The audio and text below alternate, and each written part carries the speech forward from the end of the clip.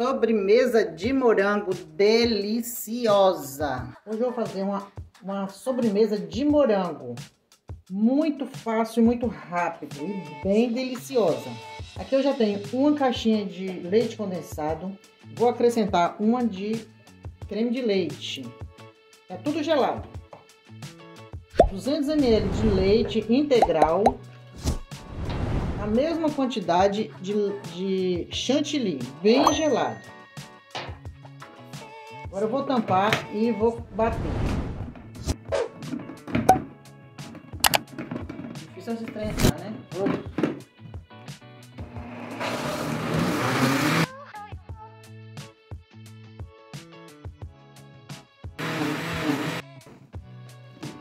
Agora, gente, eu vou acrescentar aqui um envelopinho de suco tangue e bater novamente.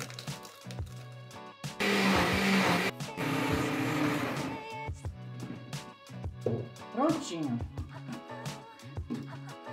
Vamos virar essa, esse creme aqui, olha só como que fica lindo.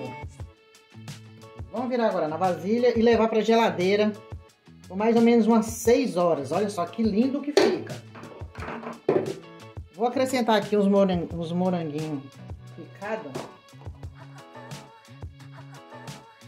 E vamos levar para gelar. Coloca um plástico filme.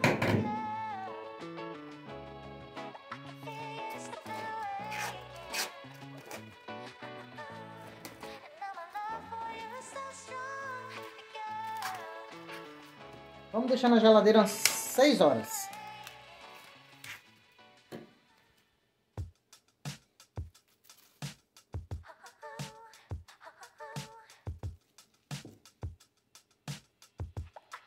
Olha isso, minha gente. Que maravilha. Olha só.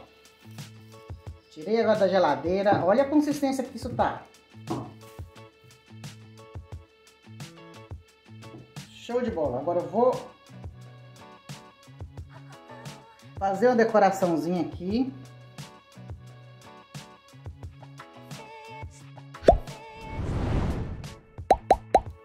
Prontinho, gente. Olha que lindo delicioso.